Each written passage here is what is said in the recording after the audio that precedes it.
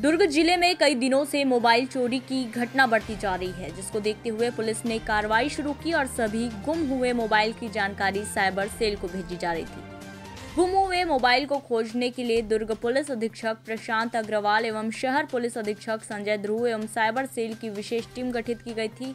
Team के वरिष्ठ अधिकारियों के आदेशानुसार पुलिस ने गुम हुए मोबाइल की छानबीन शुरू की और दुर्ग भिलाई राजनांदगांव, बालोद, बेमेतरा और रायपुर के अलग अलग क्षेत्रों से अलग अलग कंपनियों के 105 नग मोबाइल बरामद किए हैं। इसकी अनुमानित कीमत 15 लाख रुपए बताई जा रही है। मोबाइल बरामद होने के बाद मोबाइल धारकों को उनका मोबाइल पुलिस द्वारा वापस किया गया।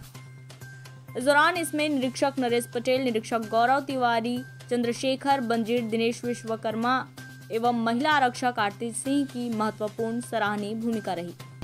पिछले कुछ दिनों से साइबर सेल के और उनकी टीम जो बहुत सारे मोबाइल लोगों के गुमे हुए थे, जिनकी कंप्लेंट्स आती है हमारे पास। तो उन सब पे साइबर सेल की पुलिस ने वर्क किया है।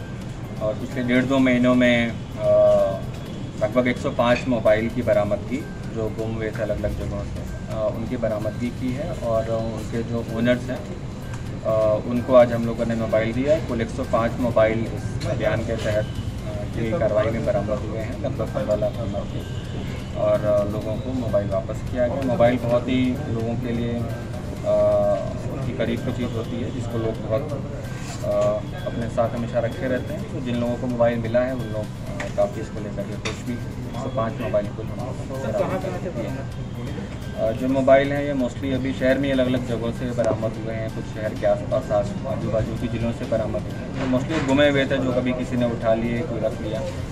तो चूँकि वो जब यूज़ होता है तो उसका पता चल जाता है ट्रैक हो जाता है।